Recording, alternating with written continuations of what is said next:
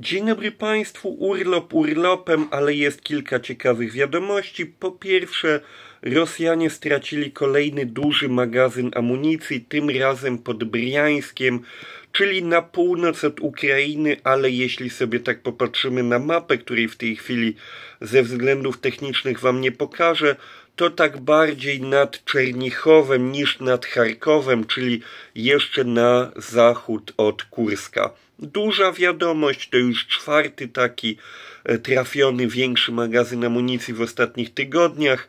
Przede wszystkim może mieć to wpływ faktycznie na te działania bojowe na kierunku kurskim, północnym, charkowskim, kupianskim. E, dalej magazyn paliw przy terminalu naftowym na Krymie w Teodozji.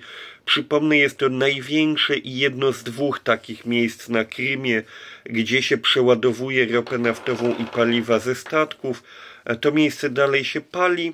Mm, wczoraj, przynajmniej dla mnie wczoraj, bo tutaj jest y, trochę inny, mm, inny czas, gdzie jestem, tam e, było bardzo ładne wideo, na którym kolejny taki duży zbiornik wyleciał w powietrze, słup ognia. Korzystać z tego w tej chwili się nie da.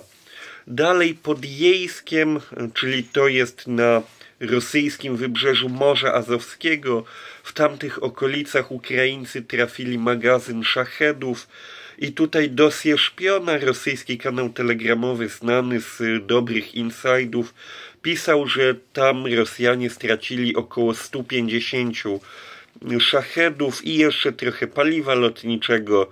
I pytanie, co tam jeszcze przy okazji tych eksplozji zostało zniszczone jest otwarte, ale no coś tam bardzo solidnie łupnęło, jak widzimy na materiałach od mieszkańców. I jeszcze baza lotnicza w Adygiei, to jest y, egzotycznie brzmiąca nazwa rosyjskiego regionu, ale to są okolice regionu rostowskiego, mm, krasnodarskiego, tam południe Rosji, niedaleko od Mariupola czy Doniecka.